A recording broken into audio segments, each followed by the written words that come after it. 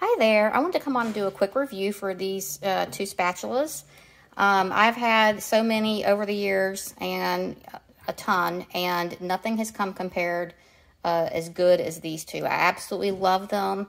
Um, OXO is a great brand. The handles are great. I love how they are uh, bent at the angle they're bent, but the most important thing that I love about these is the thinness. I have never used one that is are these thin. And I'm telling you, I'm always using one or the other, or they're in the dishwasher.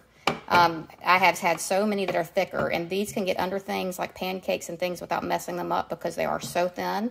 So I just wanted to come on and let you guys know if you're looking for something like this, you will not be disappointed. Like I said, the, these are the two best spatulas that I own. Uh, have a blessed day. Take care.